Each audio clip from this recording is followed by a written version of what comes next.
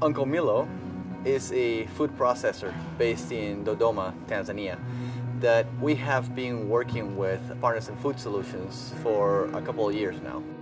Uncle Milo's main products are fortified sunflower oil and sunflower cake, which can be further processed into sunflower oil or used as animal feed. One of the first projects that our volunteers worked on with Uncle Milo was the development of a sales and marketing plan that fed into an overall business plan. This business plan actually won a competition that allowed them to have access to $400,000 of capital that would not have been available to them had they not won that competition. And it makes me extremely proud to be a volunteer of an organization that can provide that much impact on a small manufacturer in Africa.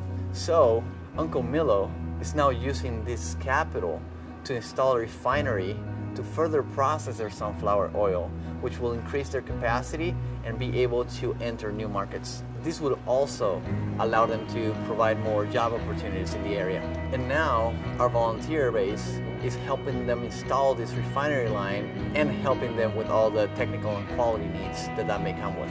Having the opportunity to come down to Tanzania and be on the field with uh, not only our TechnoServe staff, but also to see the SGBs that we work with on their day-to-day activities has really multiplied exponentially the amount of commitment that makes me want to bring to this organization.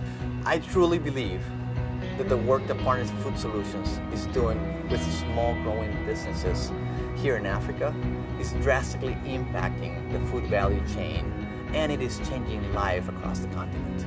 My name is Dante Vargas and I'm a Partners in Food Solutions volunteer.